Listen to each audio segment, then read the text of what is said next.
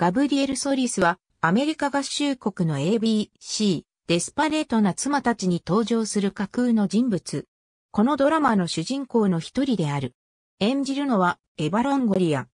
日本語版吹き替えは日野ゆりか。自宅旧姓はマルケス。カトリック教徒で意外にも信心深い。わがままでかなり自己中心的な性格で、モデルだったせいか、性的に上げすけで、かなり奔放。物質主義者で贅沢な生活を好み、高級ブランドのドレスやジュエリーに身を包んでいる。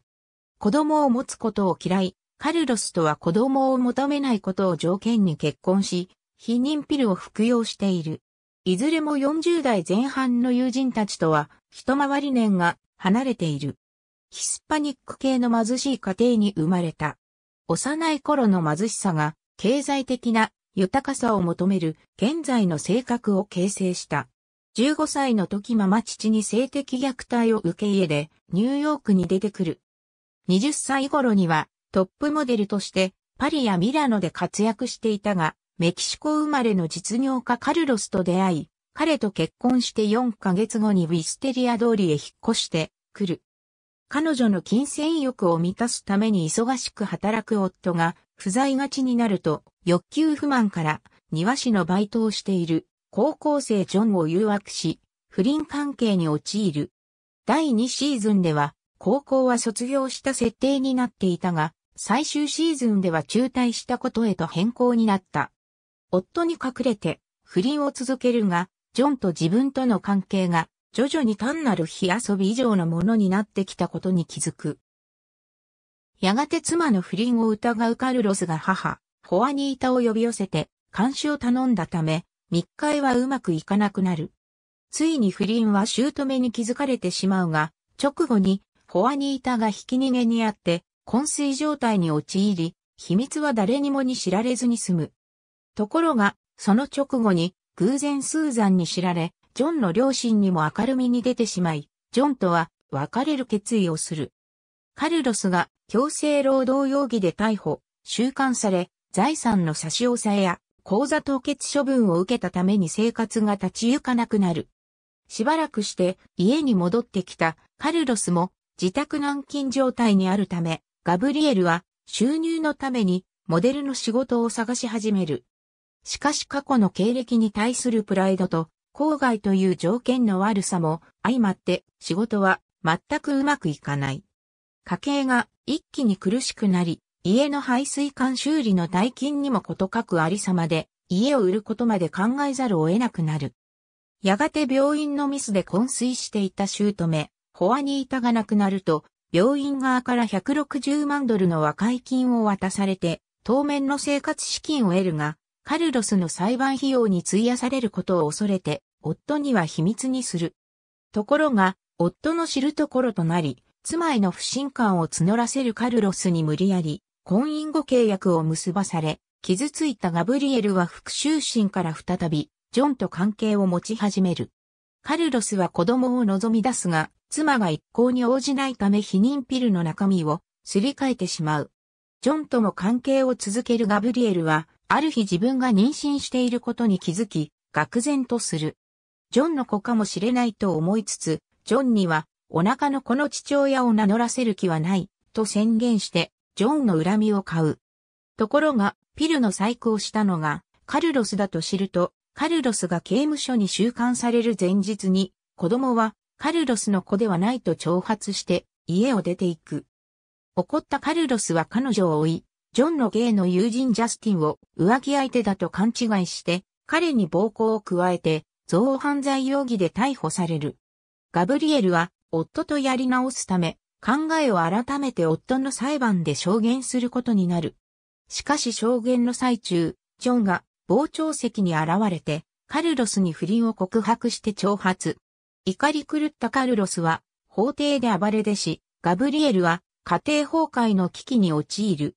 カルロスに不倫を謝罪するが、罰としてお腹の子の DNA 鑑定を要求されたり、金銭管理の権限まで奪われかける。ジョンへの未練を捨てられなかったが、別れた直後のジョンが平然と他の女性と寝ているのを知り幻滅する。カルロスに改めて謝罪し、夫婦でやり直すことを誓い合う。カルロスの差別犯罪の疑いを晴らすべく、ハンサムな弁護士デビットを雇ったところ、カルロスの嫉妬を招く。さらにデビットが自分に恋してカルロスの弁護を放棄、セクハラの証拠を捏造した上で彼を脅し、なんとか弁護に復帰させる。妊娠3ヶ月に入り、子供嫌いなガブリエルにも徐々に母性が芽生え始める。しかし、ソリス邸に侵入してきたベティの息子、ケーレブを強盗と思い、逃げようとして階段から転落、流産してしまう。表向きは平成を装っていたため、カルロスや友人たちから非難の目を向けられるが、実際は深く傷ついていた。出国したカルロスが以前に比べ信心ぶっかくなっているのを不審に感じたガブリエルは、カルロスと親しい修道女メアリーを疑う。ガブリエルは、夫婦の関係修復のためカルロスに近づかないよう頼むが、シスターメアリーは、カルロスの罪の原因はすべて、ガブリエルのせいだと言い放ち、別れさせるつもりだと宣言する。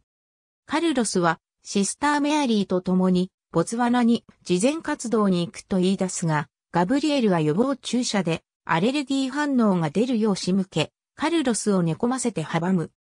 帰国後もシスターメアリーはカルロスに入れ知恵を働いたため、ガブリエルはカルロスとシスターメアリーの肉体関係をでっち上げて、クローリー神父に残言し、シスターメアリーは極北アラスカのフェアバンクス教区に配属される。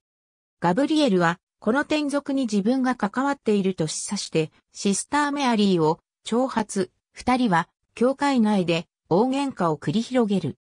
ソリス夫妻は子供を再び設けることを考えるが、流産の時の傷が残るガブリエルの体では、子供を産むのが難しいと医師に告げられる。ソリス家を訪れたガブリエルの母ルシアは、自分が代理母になると提案するが、母との確執を水に流せないガブリエルは拒絶。さらに養子を迎える方向を模索するが、ジョンの母ヘレンの根回しで、養子斡旋所での縁組は望みを絶たれたため、弁護士を通じた個人的な形での養子縁組を選択する。リビーという女性の産んだ女児を引き取り、リリーと名付けるが、実母の意向で結局は返さざるを得なくなる。子供を諦められないガブリエルは、メイドのシャオメイが不法入国者として、国外退去処分になるのを防ぐという名目で、彼女に夫婦の子の代理母を務めさせることに決める。1ヶ月後、シャオメイの妊娠が判明するが、これと同時にガブリエルは、カルロスの関心がシャオメイに移っているのではと疑い始める。不安は的中し、ガブリエルはカルロスとシャオメイの浮気を目撃。ガブリエルは奮撃のあまりカルロスを追い出し、シャオメイには自分の子を産むまでは家から出さないと宣告する。半年後、ガブリエルは別居したカルロスとの離婚協議を始め、生意気な妊婦シャオメイの世話を続ける。ブリーの結婚披露宴会場に自宅を提供するが、披露宴に招待されたカルロスと喧嘩になる。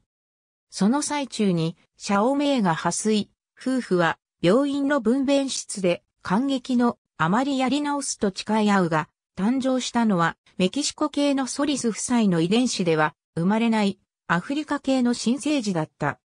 病院側の受精卵の取り違いミスが原因で待望の子供がぬか喜びだったと幻滅した夫妻は離婚協議を本格化させる。カルロスが経済的困窮を理由に家に戻ると財産の奪い合いに憎しみも加わって夫妻の争いは泥沼化し、二人は互いに裏切り合い騙し合う。結局離婚の調停ではカルロスが優位となり、ガブリエルへの取り分は自宅のみで慰謝料はもらえなくなる。この決定に激怒したガブリエルは、カルロスの財産である家の物品を壊しまくり、これに対抗して、カルロスもソリス邸を破壊する。立てこもり事件の報道を見て、今の自分の姿と犯人を重ねたガブリエルは自己嫌悪に陥り、互いを憎むのをやめようとカルロスと誓い合う。離婚後モデルへの復帰に失敗したガブリエルは、友人の始めたミスコン出場者のコンサルタント事業をビジネスパートナーとして手伝い始める。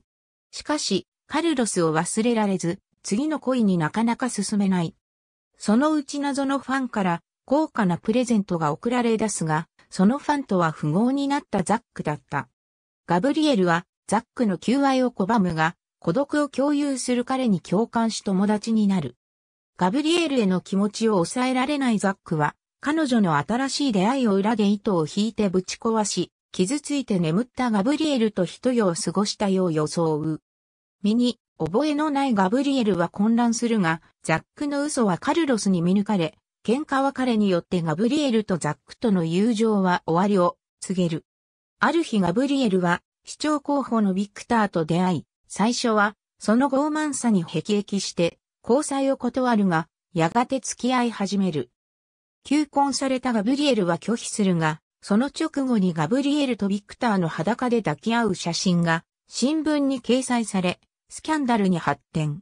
窮地に立たされたビクターを助けようと、ガブリエルは自らマスコミの前に現れ、ビクターと婚約中であると宣言し、ビクターの支持率回復に寄与する。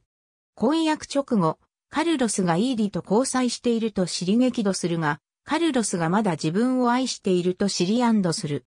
一方ビクターに対する不信感は募るようになり、ついに結婚披露宴の最中、ビクターがラテン系の票獲得という政治目的のために自分と結婚したと知って衝撃を受ける。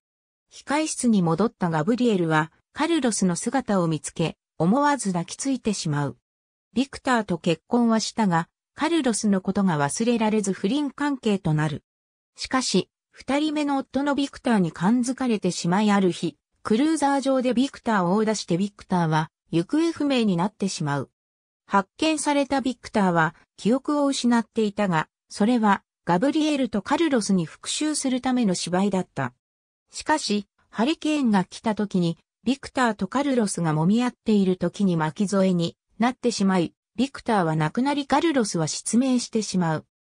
さらに、カルロスは裏金を持っていたのだが、そのための重要書類が ED とガブリエルが揉み合っていた時に、ハリケーンで紛失してしまい、ビクターの遺産も、カルロスとの浮気が、ビクターの父親にバレて1ドルももらえず二人とも、貧乏生活へと転落してしまう。それでも自分にとって一番重要なのは、カルロスであると気づき、二度目の結婚をすることを決意する。それからしばらくして、二人は金に困ったため自宅の部屋の一部を他人に貸すこととなるが、その女性エリーは麻薬の売人だった。だが、エリーは警察から逃げている時に、キャサリンの最初の夫ウェインに撃たれて亡くなってしまったため、麻薬の売買で使うはずだった金を自分たちのものにすることで、金銭危機を乗り切る。カルロスとの間に二人の娘が生まれたが、車を売るほど苦しくなり、麻薬の売買で得た金は底をつき、ガブリエル自身も太って、すっかり初代じみてしまった。そんなある日、カルロスの目が手術をすれば治ると医師から知らされ、手術することで、カルロスの目が見えるようになる。カルロスは、昔の知り合いと偶然知り合い、実績を買われて採用されることとなりその知り合いが、しばらくして亡くなったことで重役に出世して、また裕福な暮らしに戻ることに成功する。太った体型も、軍隊式の厳しいエクササイズのによってなんとか元に戻る。シーズン終盤にカルロスの親戚の高校生アナを引き取ることとなる。引き取ったアナに振り回されることとなるが、アナは引っ越してきたダニー・ウォーレンと接近していた。ウォーレン一家に不穏なものを感じたガブリエルとカルロスは、アナがモデル志望ということもあって、昔の知り合いに頼んでニューヨークに送る。一方、夫のカルロスがリネットと揉め事を起こし、リネットが訴えようとしたためリネットを解雇してしまう。そのため、ガブリエルとリネットも対立することになってしまう。それからしばらくして、セスナ事故により二人目の娘が事故に巻き込まれそうになったが、リネットが助けたため、リネットとの仲も修復しリネットの解雇も取り下げとなる。それからしばらくして、ウォーレン一家が危機に陥っていることを知り、ニックを病院から逃がす。長女のホアニータは、実は病院の取り違いで他人の子供だったことが発覚し、ショックを受ける。実の子供グレースとその一家に会いに行くが、その一家は、実は、不法に密入国した移民であり、そのことがバレて、ガブリエルたちの前から去ってしまう。せめて手紙を書こうとガブリエルは考えたが、その手紙をある日ホアニータに見られてしまい、ホアニータに実の子ではないと知られてしまう。しかし、ポールが起こした暴動によってホアニータは巻き込まれるが、ガブリエルが助けたことによって再度親子として暮らしてゆく。一方、カルロスの母親は10年以上前に、ブリーの息子のアンドリューによって引き逃げにあったが、そのことがふとしたことからガブリエルに知られてしまい、ついにカルロスにも知られてしまう。そのことを知ったカルロスは大激怒し、ブリー一家とは絶縁するようにガブリエルに言い、夫婦間がギクシャクする。それからしばらくしてガブリエルの養父がやってくるが、ガブリエルを脅したためカルロスが鈍器で殴り倒してしまう。しかし、打ちどころが悪かったため死んでおり、迷った挙句、その場にいたスーザン、リネット、ブリーと共謀して、死体を山中に埋めることとする。養父の遺体を山中に埋めなんとかその場をしのいだが、いつ、警察にバレるかと気が気ではない。さらに、スーザンが描いた絵によって警察からも疑われることとなる。一方、カルロスは悪人とはいえ人を殺したことに罪の意識を感じ、アルコール依存症に陥り仕事も休むほどになってしまい、そのため構成施設に入ることとなる。最終回では、ウィステリア通りを去り、カルロスと二人でネット販売をして成功していることが描かれた。ありがとうございます。